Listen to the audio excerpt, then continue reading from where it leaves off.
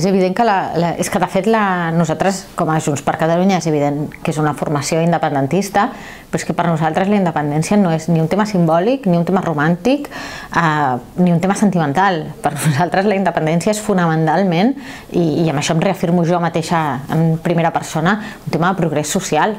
No pot ser que tinguem infraestructures que són claus per Barcelona, per l'àrea metropolitana i pel país, com pot ser el port, l'aeroport, la zona franca, eh, com ser el corredor del Mediterrani, com poden ser rodalies, tot el que té efecte amb l'activitat econòmica, que es decideix d'una manera centralitzada, en el qual nosaltres no tenim res a dir. Eh, no pot ser que cada vegada que s'intenten fer passes endavant amb eh, l'estat del benestar per reforçar-lo, amb les lleis, amb mesures, cada vegada sistemàticament això s'ha s'aturi des de Madrid. I per tant, nosaltres el, el tema de la independència, i repeteixo, eh, jo en particular el tema de la independència el veig com un instrument, no com una finalitat, sinó precisament com un instrument de progrés social per fer una ciutat millor, per fer un país millor. Ara mateix estem en un moment de gran transformació eh, a nivell social, a nivell econòmic, no només a casa nostra, eh, però compartit a nivell mundial, en el que tenim uns reptes per endavant que són molt difícils, que tenen a veure amb la globalització, la digitalització, la lluita contra el canvi climàtic, l'envelliment de la població,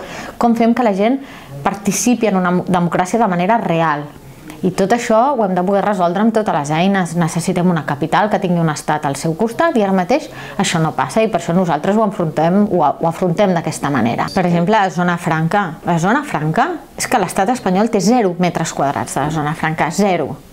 I en canvi, qui presideix la zona franca es decideix des de Madrid. Això, això és que és inacceptable. Ho hem de poder decidir nosaltres.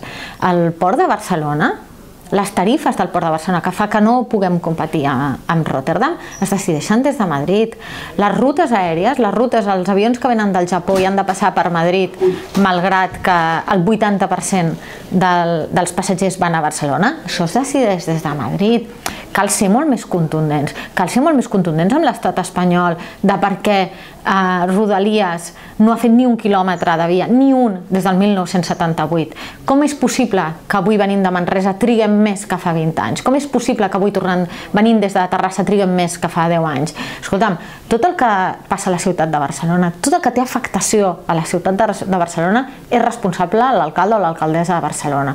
I, i l'alcalde o l'alcaldessa de Barcelona ha de poder liderar, ha de poder exigir, ha de poder treure resultats de qualsevol de les administracions que estan implicades.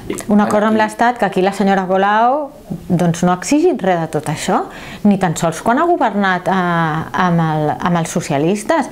I ara tenim els de Podemos, Comuns, Iniciativa, Izquierda Unida, tot aquest eh, donant suport a Pedro Sánchez i posen eh, de director d'AENA a una persona que venia del PSC i no se'ls exigeix res. O sigui, és com si ja els hi vingués bé que eh, es decidís tot des de Madrid. Clar, tenim una alcaldessa Colau que creu que Madrid és la seva capital, en lloc de reivindicar la capitalitat catalana.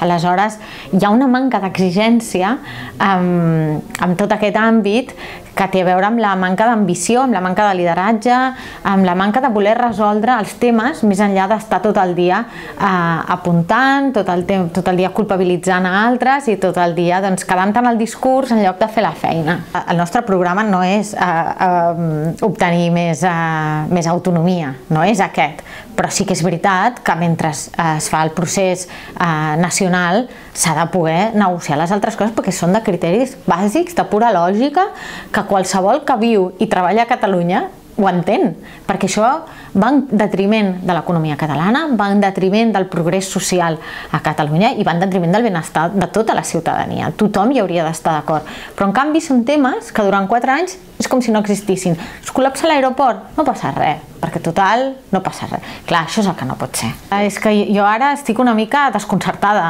amb Esquerra Republicana o més aviat amb l'Ernest Maragall eh, és un Ernest Maragall que sembla més que hagi tornat a la seva època de socialista que no pas a la, a la darrera època. Està buscant eh, un pacte bastant obertament amb la senyora Colau, que, i per tant d'alguna manera està reivindicant la feina que s'ha fet per part del govern Colau en els darrers quatre anys i precisament nosaltres ens presentem en aquestes eleccions realment com l'alternativa al canvi, eh, com un canvi per resoldre el que és urgent ara, però també un canvi per posar les bases cap al futur. Home, El senyor Maragall està parlant més dels Jocs Olímpics, diguem-ne, que no com ha de ser Barcelona en el segle XXI. Està més abonats a les receptes dels anys 80 que no de cap a on hem d'anar, cap a on projectem la ciutat d'aquí 20 anys. Eh, la ciutat necessita ambició, necessita energia, necessita lideratge i en aquest sentit nosaltres entenem que precisament Junts per Catalunya encarna tot això.